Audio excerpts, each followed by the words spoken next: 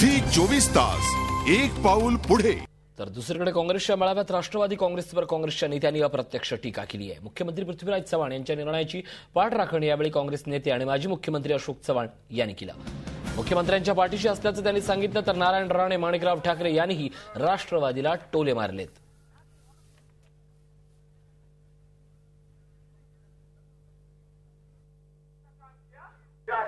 राष्ट्रवादी काँग्रेसचे कार्यालय उद्घाटन होत असताना काही नेते त्या ठिकाणी बोलत असताना त्यांनी सांगितलं की हिंदू मिलची जागा जी आम्ही चैत्यभूमीला दिलेली आहे.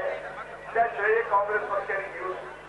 मी सांगतो राज्य मित्र पक्षांना की तुम्ही सातत्यानं सांगा लोकांना की आम्ही सगळं केलेलं आहे आणि काँग्रेस पक्षाने काही केलं नाही तरी आम्हाला काही अडचण आमची होणार परंतु लोकांना काय ते कळू द्या की तुम्ही काय केलं आणि त्याने काय केलं? लोक भाबडी नाही आहे ती कशामुळे होऊ शकतं? मुख्यमंत्री दिल्लीला गेले. सोनियाजी गांधींनी सांगितलं.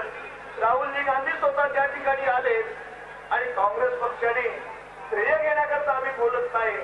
परंतु ज्यांनी केलं. त्यांचे किमान नाव घेण्याचं सुद्धा त्या ठिकाणी सौजन्य हे मला मुख्यमंत्र्यांना विनंती करायची आहे.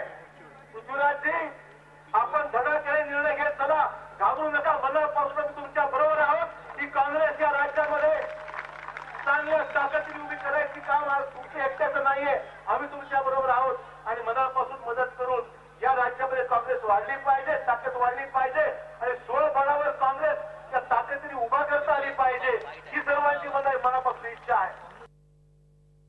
एकात्मता टिकवण्यासाठी कैलासवासी इंदिरा गांधी आणि कैलासवासी राजीव गांधी या दोघांची हत्या झाली रक्त या देशाला दिला त्यागाचा इतिहास काँग्रेस पक्षाचा आहे असा इतिहास देशासाठी आणि जनतेसाठी बलिदान किंवा त्याग करणं रक्त देण्याचं काम अन्य पक्ष पक्षाचं कोणत्याही पक्षाचा इतिहास होता नाही ना भारतीय जनता पक्षाचा ना शिवसेनेचा ना जनता पक्षाचा ना कोणत्याही पक्षाच्या राष्ट्रवादीचा कोणत्याही पक्षाचा असा उज्ज्वल इतिहास जो त्यागाचा आहे असा नाही. झी चोवीस तास एक पाऊल पुढे.